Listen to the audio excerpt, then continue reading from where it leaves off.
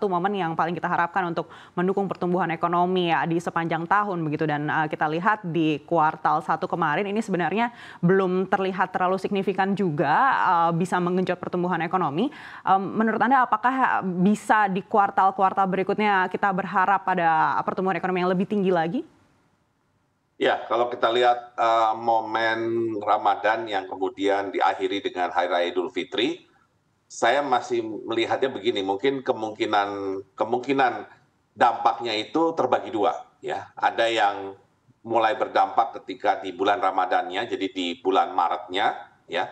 Tapi ada juga yang baru terikot nanti untuk uh, pertumbuhan ekonomi triwulan dua, ya, yang dimulai dari April sampai Juni, ya karena tentunya kita melihat bahwa uh, apa namanya dampak dari Ramadan, terutama dari Idul Fitri ini akan ber, akan terlihat sebenarnya langsung dari peningkatan inflasi. Dan inflasi itu kan sudah terjadi di akhir Maret. Ah, inflasi Maret yang relatif cukup tinggi ya dengan kemudian inflasi April.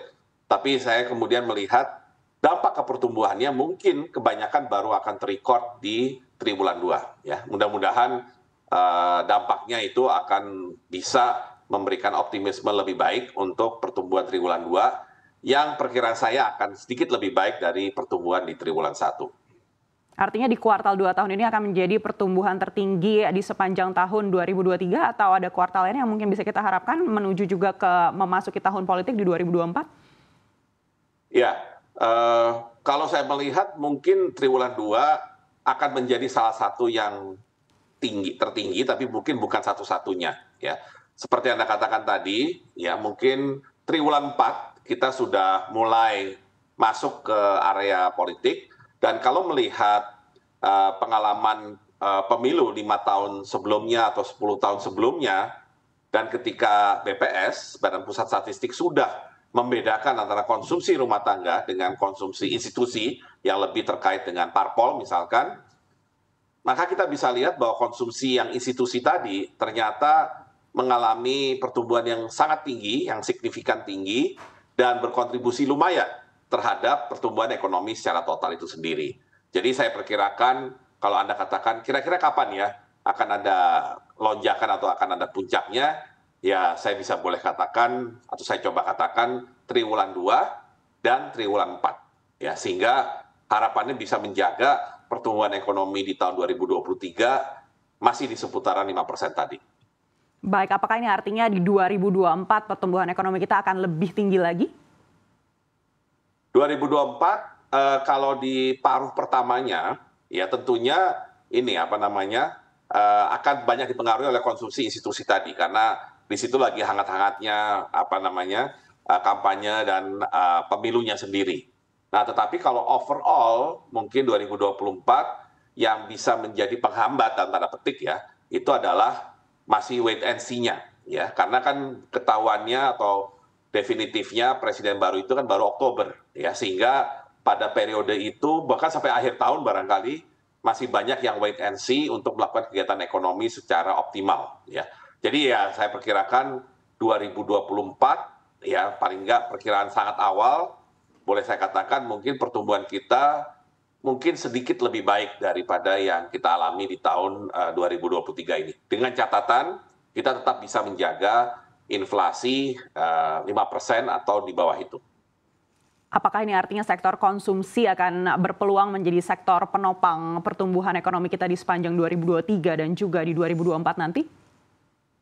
Secara struktural, sebenarnya pertumbuhan ekonomi kita itu boleh dibilang ya kalau saya buat apa semacam persamaan matematika sederhana bahwa pertumbuhan ekonomi kita adalah sama dengan pertumbuhan konsumsi rumah tangga ditambah faktor ekstra yang berasal dari pertumbuhan investasi dan ekspor.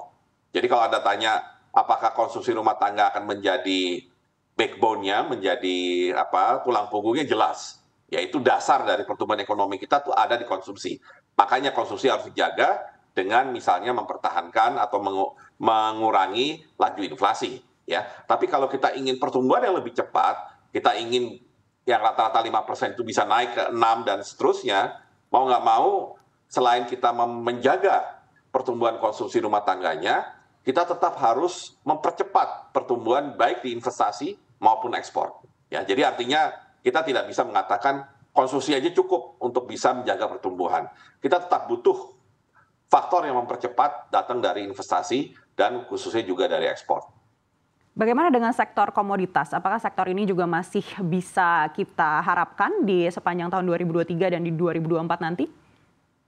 Uh, sepertinya kalau melihat perkembangan harga komoditas unggulan ekspor kita, tampaknya boomingnya memang ke tahun kemarin, tahun 2022. 2023 ini kalau dilihat baik dari harga batu bara maupun harga sawit, mulai ada moderasi lah, ya, mulai menurun. Tapi yang paling penting adalah penurunan itu tidak sampai terlalu drastis sehingga mengakibatkan gangguan terhadap sektor-sektor tersebut ya. Jadi artinya uh, kemampuan kita untuk bisa tumbuh melalui ekspor tidak bisa lagi bergantung kepada uh, harga komoditas yang tinggi yang sifatnya memang ya ada unsur kebetulannya kan. Itu adalah unsur seasonal ya tapi kita kalau ingin mendorong pertumbuhan yang lebih tinggi dengan ekspor itu harus datangnya dari uh, baik kemampuan kita memproduksi dan daya saing kita. Jadi dan itu harus datang dari produk yang manufaktur, produk olahan. Tidak lagi harus bergantung kepada produk-produk yang sifatnya natural resources ya atau komoditas tadi. Baik, proyeksi Anda untuk pertumbuhan ekonomi Indonesia di sepanjang 2023, Pak Bambang? Ya, tadi sudah saya katakan mungkin 4,8 sampai 5,2 dengan kemungkinan terbesar ya ya 4,9 sampai 5 persen ya. Tentunya sebagai ya orang yang masih tentunya uh, apa pernah berkontribusi di pemerintah, saya berharap kita masih bisa menjaga di 5 persen ya untuk tahun 2023 ini.